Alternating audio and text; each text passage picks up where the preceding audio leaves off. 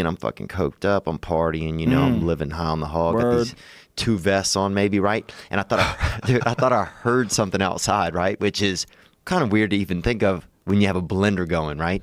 So I leave out of my apartment to go in the hallway, lock myself out with the blender going. Two thirty in the morning, coked up out of my brain. Right now, I have to go to my landlord, dude, who lives r- right down the hall, Oh, no. and tell him like, "Hey, man, Two thirty in the morning.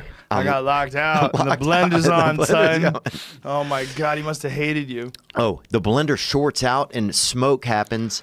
The fire uh, alarm starts going off in the building right as I'm at his door knocking, right? Oh, my god. So now he's pissed and he's like, What's going on?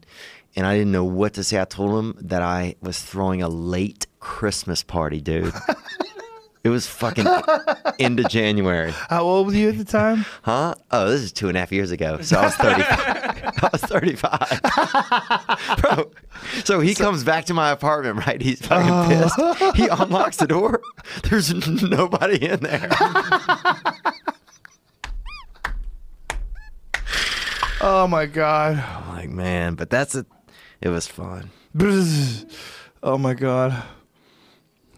That was fun. How long did you live there for? I still live there. Whoa. Yeah, we've patched. I mean, we've kind of, you know, like I've caught him doing some things. So I think, I think, I think we're all even. oh How long you been sober for? Hey, please smash that like button for my good friend Quantum Stellar. Remember? It's the holiday season, so make a small donation if you can. He could really use the help. That's paypal.me slash quantum stellar. Uh, two years in two weeks. It'll be two years. What was the big thing where you like, I got to get my shit together? Dude, I was going on Opie and Jim when Opie and Jim Norton had a radio show at Sirius, and it was actually on. Uh, it's on Ari's that show that he had. This is not happening, um, and I ended up uh, doing coke all night, driving a taxi. I was in a taxi. The driver, this dude Luigi, um, got me an escort. I didn't want an escort. We're doing cocaine in like Harlem or something, North Harlem. You and the cab driver doing coke. And I just had I was taking a cab from a party to my hotel, and so we end up off on this other excursion. Next thing you know, I'm driving the taxi. He's in the back with the hooker. It's 5:30 in the morning, and I got to be on the radio station at you know 6:30 or something. So I get to the radio and I can't even talk. And uh, and Darryl Strawberry's the other guest, right? Who's the baseball player who also had drug problem. But he's like 13 years sober and so it was this weird moment where like i thought i was kind of cool but then here's a man who like i'd always in my head maybe somewhere thought oh that guy's like a cokehead. But then here he is eloquent put together successful and here i am i can't even talk and i'm with two men that i admire um, you know opie and jim norton just to be honored to be on the show you know? And so i was like this is i'm i'm not making choices like there's some there's some unevenness here you know So what did you do after that? Join a 12 step program? Joining 12 step program, yeah. and then, so yeah, so I've been in that then. Since then, it's helped me out, you know? Well, I would definitely say don't do coke. Yeah. The problem with drugs is they're all under the same blanket, right? You know, when someone says drugs, you think of everything. You think of pills, you think of smoking it, you think of coke, you think of pot, you think of mushrooms, think of everything. Yeah. But obviously, they're not all the same thing. You know, it's weird to call them all drugs. Yeah. They they affect you very differently. 100%. I don't think if you did mushrooms, you would all of a sudden be doing blow and you know Yeah, I don't think so either. driving Luigi's cab again. Right. I don't think so either. So, but I think But I, I, wouldn't want to be the guy that told you to do it either. no, I don't feel like you are.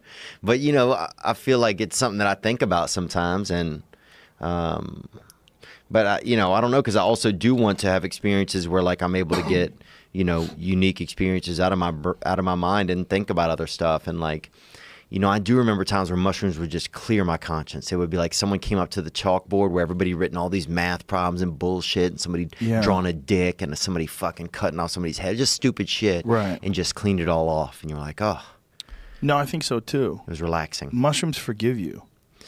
Oh they wow, forgive you for your mistakes. I mean, this is one of the reasons why, um, like mushrooms and Jesus are always kind of connected in folklore Mm. and a lot of people's ideas. It's because they're both very forgiving. like here's the best Jesus story of someone being forgiving. God damn, I'm coughing lot. It's the weed.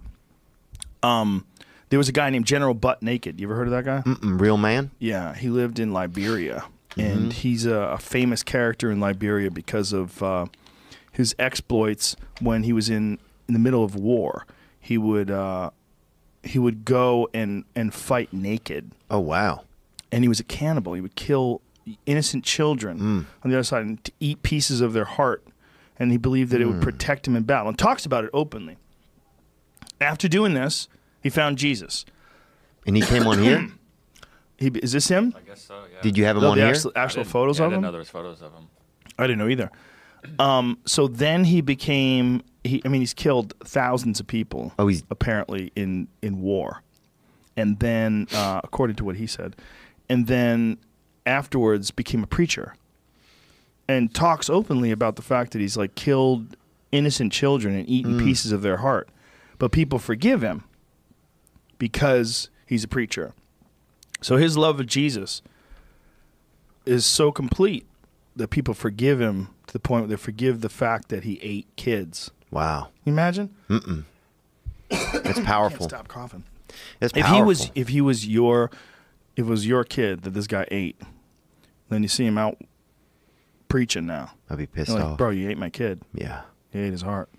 The fuck? But that was a different time. Yeah. I was a different man. Yeah. It's crazy. The the the traveler's guide. I forget what it's called. The Vice Travel Guide to Liberia. It is a really, really eye-opening um, sort of a view into what Liberia is like. Mm. Li- Liberia is a really, really poor, dangerous part of Africa Mm.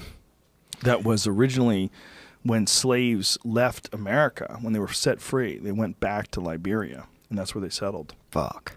Yeah. Dude, Africa's always fucked up, huh? Yeah. That sucks, man.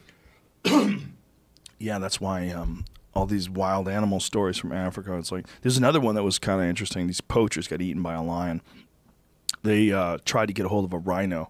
They were trying to steal this, kill this rhino, and cut its horns off. They try to sell them, and they just got eaten. That's crazy, dude. Dude, that's the way to go. If you could get an animal organ put into your body, would you do it? What would be the benefit? What would you know. get? I'd do something. Uh, Would you get light. like a hyena butt, one of them big shiny butts?